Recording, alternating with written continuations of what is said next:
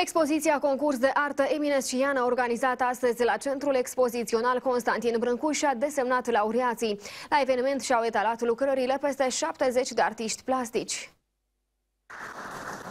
Premiul cel mare i-a fost înmânat Ludmilei Tihonciuc. Lucrarea ei a fost realizată în tehnica Goblen. Это на строчке э, стихотворения Еминеску «Звезда» я взяла строчки «Свет ушедшей любви».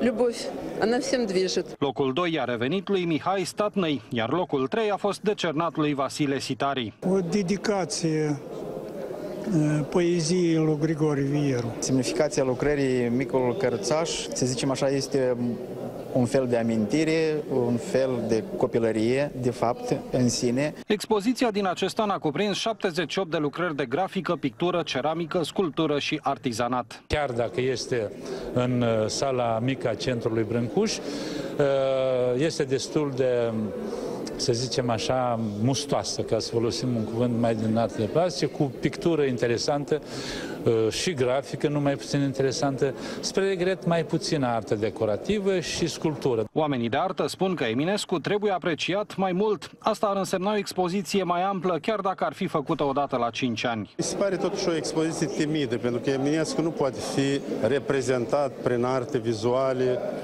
odată în fiecare an, adică la ziua de naștere.